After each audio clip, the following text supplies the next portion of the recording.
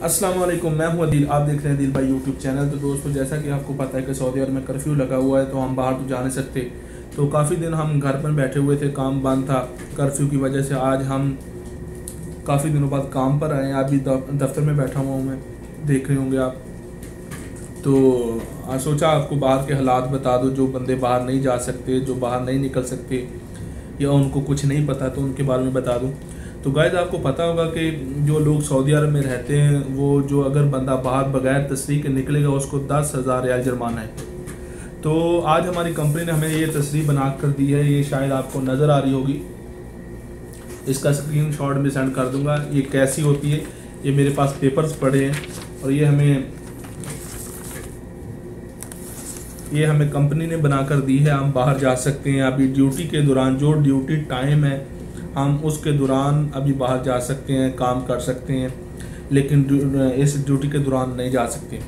تو برائے مہربانی یہ میرا اپنے جو لوگ سعودی عرب میں رہتے ہیں، ان بھائیوں کے لیے میسیج ہے کہ خدا را اپنی سیفٹی کا خیال رکھے۔ جس کے پاس تصریح نہیں ہے، وہ باہر نہ نکلے گورنمنٹ کے رول رول کو فالو کرے۔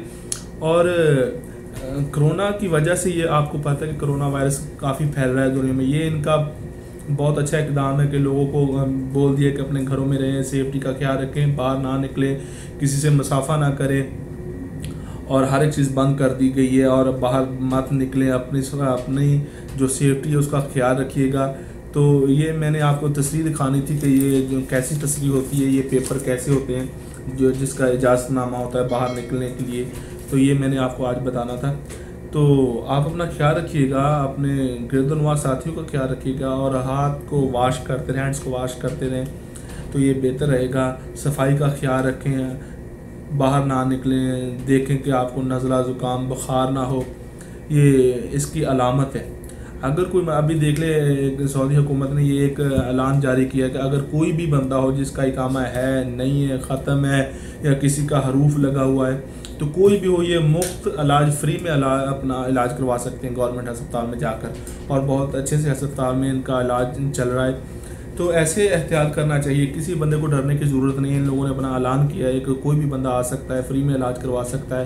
اگر کسی کا حروف ہو، وہ باہر نہیں نکل سکتا، ڈر رہا تھا کہ اگر میں باہر نکلوں گا تو پکڑا جاؤں گا، پتہ نہیں کیا ہو جائے گا۔ ایسی کوئی بھی بات نہیں ہے گائز تو آپ باہر جا سکتے ہیں، کام کر سکتے ہیں، باہر جا کر اپنا علاج کروا سکتے ہیں، وہ بھی فری میں۔ تو اگر کسی کے پاس تصریح نہیں ہے، تو وہ نہ نکل دس ہزار کا جرمانہ ہے بھائی۔ نکلنے کا فائدہ ہی نہیں ہے۔ یہ تو ہم پاکستانی یا انڈین بھائی جتنے بھی اجنبی لوگ ہیں یہاں پر کام کرنے کے لیے آئے ہوئے ہیں۔ اور اگر ہم باہر نکل کے ہمیں دس ہزار دس ہزار ریال کا جرمانہ ہو گیا تو بہت مشکل بن جائے گی۔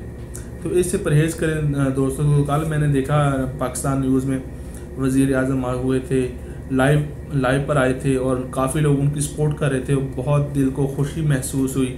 یہ ایک پاکستانی ایسی جذبے والی قوم ہے۔ میں نے، میں سلوٹ کرتا ہوں اپنے پاکستانی بھائیوں کو۔ جو ملک کے باہر ہے یا ملک کے اندر ہے پاکستان کی خاطر اتنا زیادہ اپنی بڑی بڑی بڑی اماؤنٹ دے رہے ہیں وہ پاکستان کے لیے، پاکستان بھائیوں کے لیے، پاکستان کا خیال رکھ رہے ہیں۔ یہ اصل میں پاکستان کا خیال، پاکستان ہمارا گھر ہے۔ اس کی حفاظت کی ذمہ داری ہماری خود کی ہے، نہ کہ گورنمنٹ کی۔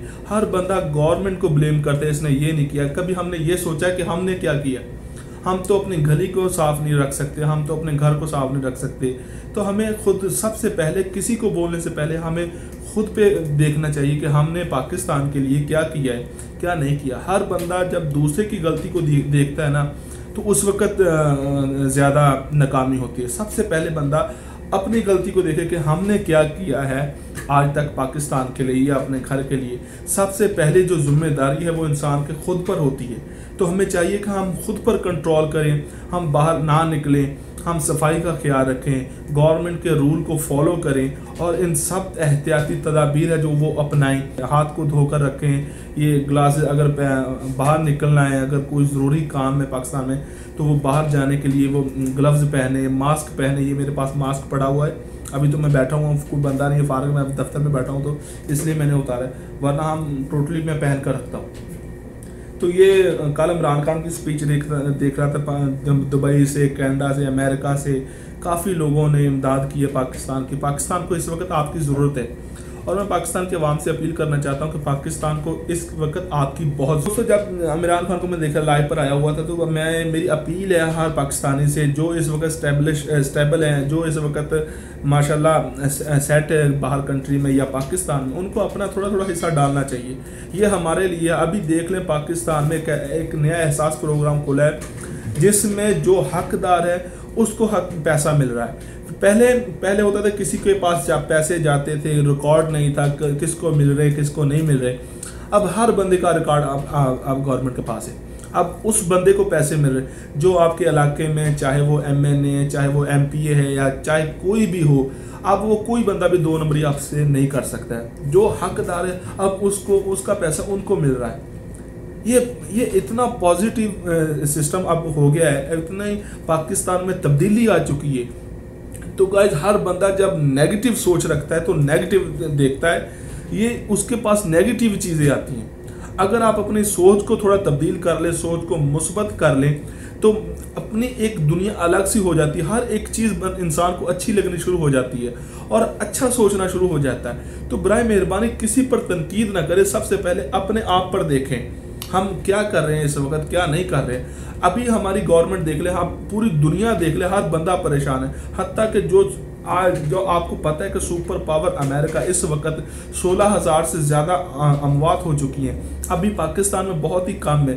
ابھی وہ سپر پاور ہے، پیسہ ان کے پاس، نئی ٹیکنالوجی ہے، سب کچھ ہے۔ پاکستان کے پاس ہے کیا؟ لیکن پھر بھی الحمدللہ الحمدللہ، بہت پاکستان نے کور کیا ہوا ہے۔ اس وقت اموات کی بہت پاکستان میں بہت کم اموات ہوئی ہیں، مریض آ رہے ہیں، لیکن انشاءاللہ اس پہ قابو پا لیا جائے گا۔ لیکن ہم سب ہم سب کو چاہیے ہم دعا کریں، ہم سب مل کر اس کا مقابلہ کریں۔ ہم صفائی کا خیال رکھیں، گھر سے باہر نہ نکلیں۔ انشاءاللہ ایک دوسرے کا خیال رکھیں۔ اگر میرے پاس آج کے لیے کھانا ہے تو میں جمع نہ کروں، اپنے دوسرے بھائی کو دیکھوں۔ اگر وہ نہیں کھا رہا تو اس کی ہیلپ کر سکوں۔ ایسا ہونا چاہیے۔ یہ اب اب ابھی یہ ہمارا ایک امتحان ہے۔ اللہ کے ذات ہم سے امتحان لے رہی ہے۔ امتحان تو ہوتے رہتے ہیں، وقت تو آتا جاتا رہتا ہے۔ پیسہ ہم ہم پر مصیبت اس لیے آئی ہے کہ ہم نے اپنے لیے جوڑنا شروع کر دیا۔ کیونکہ اسلام میں جوڑنے کی بات نہیں ہے، دوستو۔